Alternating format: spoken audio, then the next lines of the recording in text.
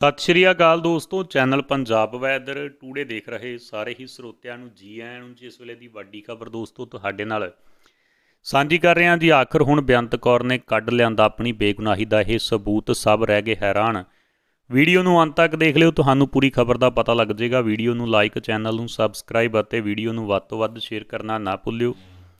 Canada ਸਰਕਾਰ ਦੇ ਵੱਲੋਂ ਬੇਅੰਤ ਕੌਰ ਦੇ ਖਿਲਾਫ ਕਾਰਵਾਈ ਕਰਨ ਦਾ ਭਰੋਸਾ ਦਿਵਾਇਆ ਗਿਆ, ਕਿਉਂਕਿ ਪੰਜਾਬ ਵਿੱਚ ਮਹਿਲਾ ਕਮਿਸ਼ਨ ਦੀ ਚੇਅਰਪਰਸਨ ਮਨੀਸ਼ਾ ਗੁਲਾਟੀ ਵੱਲੋਂ ਇਸ ਮਾਮਲੇ ਸੰਬੰਧੀ ਕੈਨੇਡਾ ਦੇ ਪ੍ਰਧਾਨ ਮੰਤਰੀ ਜਸਟਨ ਟਰੂਡੋ ਨਾਲ ਗੱਲਬਾਤ ਕੀਤੀ ਗਈ। ਹੁਣ ਬੇਅੰਤ ਕੌਰ ਵੱਲੋਂ ਆਪਣੀ ਬੇਗੁਨਾਹੀ ਦਾ ਸਬੂਤ ਪੇਸ਼ ਕੀਤਾ ਗਿਆ, ਜਿਸ ਨੂੰ ਦੇਖ ਕੇ ਸਾਰੇ ਹੈਰਾਨ ਰਹਿ ਗਏ ਨੇ। ਮ੍ਰਿਤਕ ਨੌਜਵਾਨ ਲਵਪ੍ਰੀਤ ਦੇ ਪਰਿਵਾਰਕ ਮੈਂਬਰਾਂ ਵੱਲੋਂ ਖੁਦਕੁਸ਼ੀ ਦੀ ਵਜ੍ਹਾ ਉਸ ਦੀ ਕੈਨੇਡਾ ਰਹਿੰਦੀ ਪਤਨੀ ਬੇਅੰਤ ਕੌਰ ਨੂੰ ਦੱਸਿਆ ਜਾ ਰਿਹਾ ਸੀ। ਉੱਥੇ ਹੀ ਬੇਅੰਤ ਕੌਰ ਵੱਲੋਂ ਆਪਣੀ ਬੇਗੁਨਾਹੀ ਦਾ ਸਬੂਤ ਪੇਸ਼ ਕੀਤਾ ਗਿਆ। ਬੇਅੰਤ ਕੌਰ ਵੱਲੋਂ ਉਹ ਚਿੱਠੀ ਸਬੂਤ ਦੇ ਵਜੋਂ ਪੇਸ਼ ਕੀਤੀ ਗਈ ਹੈ। ਇਹ ਸਾਬਤ ਕਰਦੀ ਹੈ ਕਿ ਲਵਪ੍ਰੀਤ ਨੇ ਖੁਦਕੁਸ਼ੀ ਨਹੀਂ ਕੀਤੀ।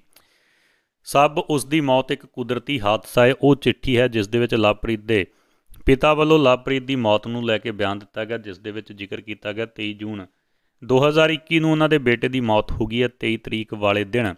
ਉਹਨਾਂ ਵੱਲੋਂ ਆਪਣੇ ਖੇਤਾਂ ਦੇ ਵਿੱਚ ਝੋਨੇ ਨੂੰ ਸਪਰੇਅ ਕੀਤੀ ਗਈ ਸੀ। ਸੋ ਤਸਵੀਰ ਜਿਹੜੀ ਚਿੱਠੀ ਦੀ ਤੁਸੀਂ ਆਪਣੇ ਫੋਨ ਦੀ ਡਿਸਪਲੇ ਦੇ ਉੱਪਰ ਦੇਖ ਸਕਦੇ ਹੋ, ਜੀ ਇਹ ਬਿਆਨ ਉਹਨਾਂ ਦੇ ਵੱਲੋਂ ਪੁਲਿਸ ਨੂੰ ਦਰਜ ਕਰਵਾਇਆ ਗਿਆ ਹੈ।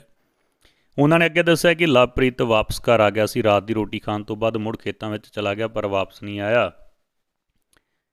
ਉਹਨਾਂ ਦੇ ਗਵਾਂਢੀ ਵੱਲੋਂ ਇਸ ਗੱਲ ਦੀ ਸੂਚਨਾ ਦਿੱਤੀ ਗਈ ਕਿ ਲਵਪ੍ਰੀਤ ਨੇ ਖੂਹ ਦੇ ਉੱਪਰ ਬੇਹੋਸ਼ੀ ਦੀ ਹਾਲਤ ਵਿੱਚ ਪਿਆ, ਜਿੱਥੇ ਉਸ ਦੇ ਪਰਿਵਾਰਕ ਮੈਂਬਰ ਉਸ ਨੂੰ ਨਿੱਜੀ ਹਸਪਤਾਲ ਵਿੱਚ ਲੈ ਕੇ ਗਏ, ਜਿੱਥੇ ਡਾਕਟਰਾਂ ਦੇ ਵੱਲੋਂ ਉਸ ਨੂੰ ਮ੍ਰਿਤਕ ਘੋਸ਼ਿਤ ਕਰ ਦਿੱਤਾ ਗਿਆ, ਜਿਸ ਬਾਰੇ ਲਵਪ੍ਰੀਤ ਦੇ ਪਿਤਾ ਨੇ ਆਖਿਆ ਕਿ ਇਹ ਇੱਕ ਕੁਦਰਤੀ ਹਾਦਸਾ ਹੈ ਜੋ ਦਵਾਈ ਚੜਨ ਦੇ ਕਾਰਨ ਵਾਪਰ ਗਿਆ। ਇਸ ਵਿੱਚ ਕਿਸੇ ਦਾ ਦੋਸ਼ ਨਹੀਂ, ਇਸ ਚਿੱਠੀ ਦੇ ਉੱਪਰ ਥਾਣਾ ਮੁਖੀ ਅਤੇ ਲਵਪ੍ਰੀਤ ਦੇ ਪਿਤਾ ਦੇ ਦਸਖਤ ਹਨ। ਸੋ ਦੋਸਤੋ, ਹੁਣ ਦੇਖਣਾ ਇਹ ਹੋਵੇਗਾ ਕਿ ਇਹ ਚਿੱਠੀ ਅਸਲੀ ਆ ਜਾਂ ਫਿਰ ਕਿਸੇ ਦੇ ਵੱਲੋਂ ਜਾਣ ਕੇ ਸੋਸ਼ਲ ਮੀਡੀਆ ਤੇ ਵਾਇਰਲ ਕੀਤੀ ਗਈ ਹੈ। ਤਾਂ ਆਉਣ ਵਾਲਾ ਸਮਾਂ ਹੀ ਦੱਸੇਗਾ। ਧੰਨਵਾਦ।